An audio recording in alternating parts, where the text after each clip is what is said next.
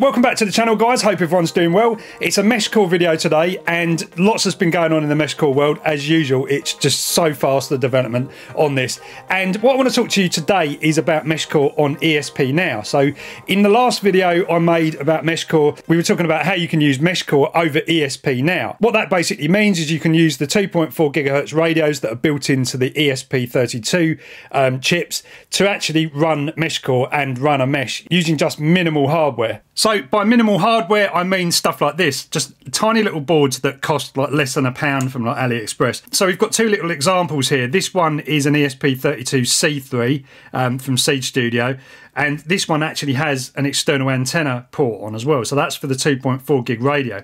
So we can use that for MeshCore. Also, this device here, which is a Waveshare board, and it has a built-in antenna, so no external antenna, but it has a built-in antenna on the top here.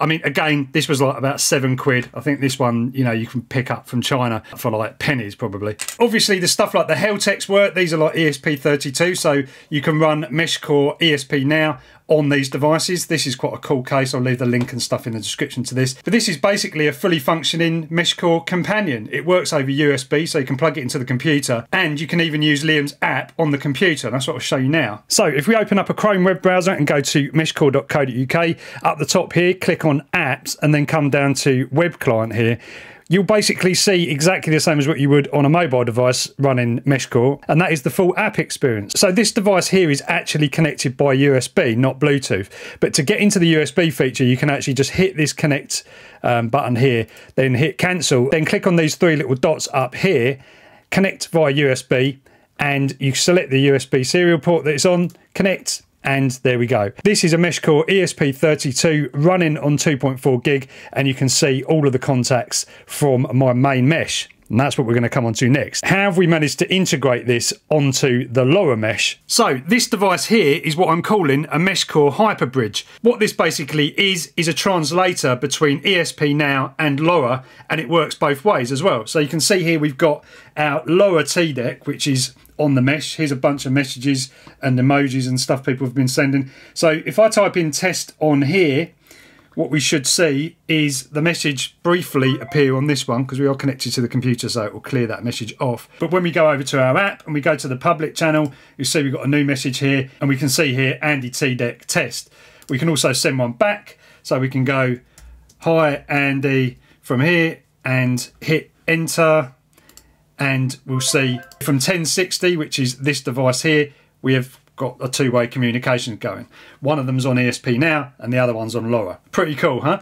So we can even take like other standalone devices like this one here, the little pager. So this device hasn't got LoRa. This only has a 2.4 gig radio, but this can just participate in the mesh exactly the same as any other LoRa device because we're using the Hyperbridge in the middle. So why would you want to do this? Obviously ESP now being 2.4 gig, it has a lot less range than LoRa. So why not basically just use LoRa all the way? Well, the problem is if you're using a LoRa node like this to actually connect to your LoRa repeater, which might be outside or in your loft, then it creates a bit of a problem because your companion radio here on the desk can't actually hear what's going on outside at your big antenna in the loft or outdoors. So there is a potential for a packet collision to happen between this and your repeater outside.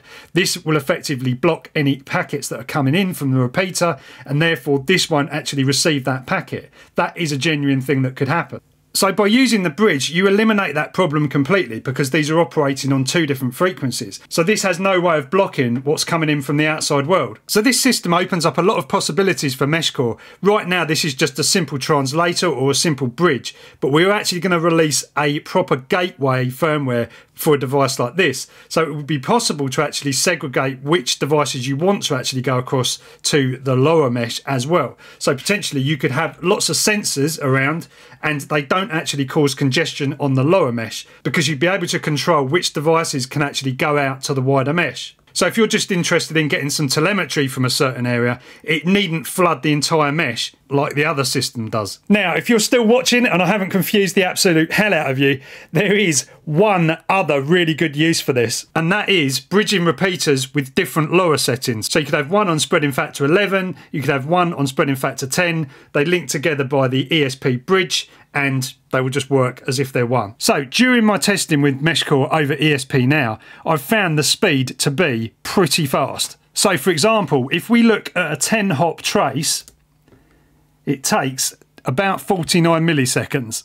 Compare that to LoRa. So if we just trace my LoRa base station, you can see 357 milliseconds just for one hop. So you can see, if you wanted to have a massive mesh, you could totally do this with ESP now. And I think it would probably cope with 100 repeaters or each one of these devices retransmitting. No problem at all. And that's quite an interesting concept, I think, because if you start having lots of ESP now MeshCore repeaters in really good locations, you could probably cover a really large area. And that's something I've been testing. So on my mast, I've put up a 2.4 gig Yagi. This is the one at the bottom and I've got my little pager here as well. So what I'm going to do is send messages to 1060 which is the the companion radio that's plugged into the computer.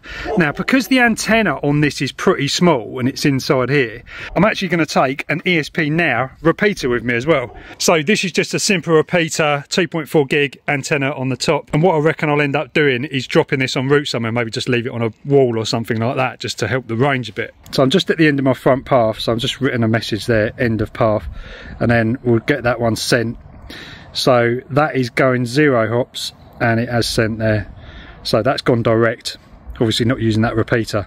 So let's go for a walk now. About 50 meters away now. So just get that sent. And that's coming back with no go. There you go. So we are already using our repeater which is tucked under my arm. I'd expect that this is going to be a stronger signal on the repeater. Right, so I'm about 200 metres away from the mast, I reckon, at this point. So I've dropped off the repeater here on the top of this brick wall, just to help things out a bit. And what I'll do, I will actually reset the path on this one, and just do it so that it finds the path. So I'll just type in 200, let's send that and see see what happens. Right so 200 and we've got two hops. So it's definitely going via this repeater on the wall. Right carry on walking. Now i will say this is not line of sight guys. So for 2.4 gig going to a tiny little pcb antenna like this um, this is what you kind of expect. Right so now i'm about 400 meters away. Let's just try that again and 400's has gone through as well and we're still two two hops. Right okay so i've actually jumped in the car to do this next one which is one kilometer away. So let's just see if that goes through. Holding out a lot of hope for that. Um, let's try a flood and see what happens. One kilometer that's pretty madness for 2.4 gig. This is where the repeater is. Right i'm now about 1.9 kilometers away and just had one go through.